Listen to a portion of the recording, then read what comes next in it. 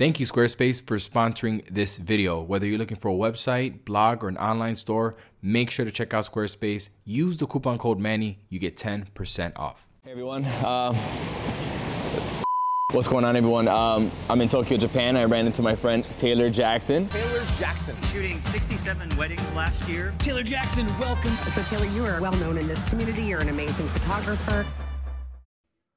A fellow YouTuber and a wedding photographer. And like him, we're both introverts, and it's something we talk about a lot. And we're, I mean, we have, we both have struggled socially in this industry, but we have found ways to be successful. And I know that when I have meetups, a lot of people have questions about how I overcame being an introvert in this industry where you have to be social with humans. You have to work with people. And um, we're gonna talk about some of our favorite tips on how to work with people in photography and still be successful. So Taylor, what, what are some of the tips? what are some of the tips that, that you can give? So my, my background, I started maybe in the most introverted style of photography, which is concert photography. So I was like, I would show up and I would be taking photos of people and they would not care that I was there. They did not interact with me. They were just doing their thing. And I find that that is my most comfortable place still to this day. Um, maybe that's because that's where I began my photography journey. Uh, when I kind of made the transition to even just photographing those bands and getting them to do like a band promo photo where I had to control them and move them, I found myself very uncomfortable with that. And I was like, can't you just like do a thing and I'll just take pictures? And it turns out sometimes that works. Like sometimes you find people and they're, yeah, they're super aware of like exactly what they do. And if they're a band, they've probably done a few portrait shoots like this before. So they sometimes get it. But when, I guess, as a true professional, when you kind of really can shine is when you can turn a situation that would not have been a good photo when people don't really know what to do and make it look good, make it look better than real life or better than what would have come together naturally. And I think there are ways that you can do it to make the images not look entirely posed. I feel that if I'm trying to pose an image ever, um, I am uncomfortable telling people exactly what to do. I would be much happier to be like, hey, just go have this like um, with a couple, like go have a seat on these stairs and get really close together. And I don't over direct too early on in the shoot because I find that if I do try to over direct and actually tell them what to do, that they expect that from me all the time. Oh, so okay, okay.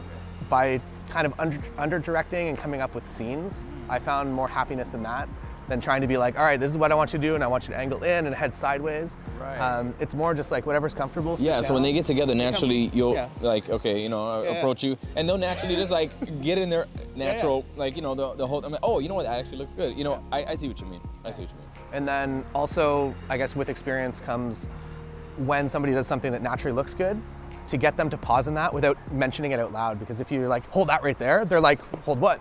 And they change, and the moment's gone. So kind of coaching those moments and I, I feel like being on an 85 or a longer lens is a much happier space for me so that 85. I'm able to be further away from them that I can kind of tell them and I, I feel like I'm not too close, I'm not in their space. Yeah. Um, so I found, again, maybe it's because like I started with that 50 on a crop body shooting concerts that I found that that kind of 85 millimeter full, fa- full frame effective range is kind of my spot and I'm happiest in it. And when I shoot with a 50, I feel like my frames are too wide. I feel like they're not, I don't know, they're, they're missing something. And my happy place is at 85 and just kind of under directing in a way, but not seeming unprofessional with it, okay. I guess, and not having like, I don't know what to do. Do you guys do something? Right. Um, but right. just coming up with scenes like most of my photography involves a lot of walking and movement. Um, I find that it's the easiest thing for couples specifically to do. Like if you just tell somebody hold hands and go for a walk, they know how to do that. It's not something they're going to overthink. They're just going to do it. And you yeah. can yell out small things while they do that that don't seem like you're over controlling anything. Like put an arm around each other, like smile at each other, like be serious, look at the camera. Um, and just with like those small things, you can pull out a lot of good shots without really, I don't know, having to be too extroverted. Like you don't have to be like, I don't know, the showman really that right. you can just kind of say a few things and I don't know, under direct and they usually kind of figure things out. Yeah. yeah. That's a great tip. Yeah, 85 millimeter, I call that the introverted lens. Yeah. You know, stand far, you, as far away as possible. Actually, let me get my 200 millimeter, so go back over there. No, I'm kidding, but 85 is a great range for like communicating. I can still communicate, but I still get that compression and I get that distance from them where I, I see what you mean. That's a great tip. That's a great tip. Yeah, so um, my tip that helped me. And I, before any shoot, I get so super anxious to the point where I'm like, I don't even want to do this anymore. I just want to cancel the shoot and I just want to just relax at my house because this gave me, so, it was so unsettling to meet new people. And then they're gonna be looking at you like you're like, like you know what you're doing. I mean, I kind of know what I'm doing, but like the social aspect gave me so much anxiety. So what I did was, before a shoot, I'm in my car. I'm like, you know what? These people are coming to meet me. They think that I know what I'm. They expect me to know what I'm doing. Yeah. So I'm gonna pretend and fake it like, like I am some like, yeah, like I'm a cool guy. I'm super extroverted. So I'll meet them like, hey, hey guys, you know, how are you? I just I'll put on this persona of, like I'm an extrovert. And what I found would happen, what would happen is when I put this like persona of me being an extrovert and like faking it, um, they, I feel right away like they feel a little more comfortable. Like, oh, this guy knows what he's doing. When I'm on the shoot, I'll ask them a lot of questions about them, about them. And I know the psychology behind it, right? The psychology is, you know, people like to talk about themselves, you know, including me. no, I'm kidding. But um, so when people talking about themselves, I feel like it takes a lot of pressure off me off the, the social pressure. They're just talking about their lives, talking about how they met, and that takes a lot of pressure off me. And um, yeah, and it, it kind of like builds my confidence through the shoot.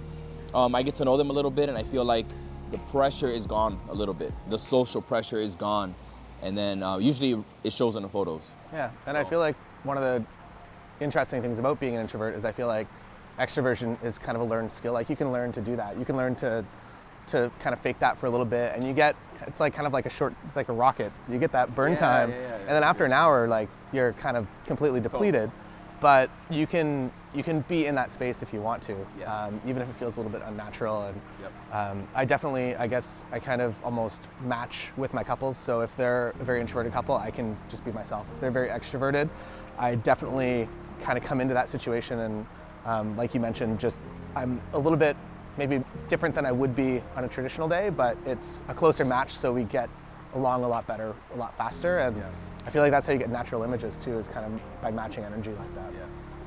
Yeah, and another thing that we I know we talked about in the past about doing it often, doing it and keep doing it, and it's like breaking out of your comfort zone continually. Like this is gonna get better with time. And it, and it 100% is going to get better with time. You keep doing it, you're going to find different techniques on how to, uh, you know, just on how to work with people, right? And um, yeah, that's something that definitely has helped me working with people in general. Just continue to keep putting yourself out of your comfort zone. And um, yeah, you just find ways to make it happen. Taylor and I, um, it's funny how we met. We're, we're two like massive introverts. When I first met him, he was literally walking through a crowd of people like this, like I was oh, alone too. Yeah, At least you, you knew you, you yeah. knew some people. Yeah, and you were you were looking down. I'm like, oh, that's that's Taylor, but he was he was looking down like, oh God, I'm trying to get out of here. You, you're so well versed. You trick people. Like when I first heard you, I didn't know you were an introvert, but I'm like, wow, he really is. Like it's like, and I, I, I didn't get it. People tell me all the time too, like you're not an introvert. I'm like, I don't seem like an introvert, but I really am. Um, but yeah, I mean, I know. I hope that some of these tips can help some of you guys out there because I know a lot of people struggle with this. And a lot of people quit photography because they just don't like the social aspect of it and they just it just gives them too much anxiety. So uh, hopefully I inspired some of y'all. We inspired some of you guys because uh, we went through it and we just pushed through it. All right, everyone, uh, Taylor is a fellow YouTuber, but he is an incredibly talented and successful wedding photographer. So check out his channel. If you're into weddings, portraits, Taylor is the man. Check out his channel. His link will be down below. And uh, I'm not too bad myself. I mean, oh, chill out. Chill out. Adios from Tokyo. See you in the next one.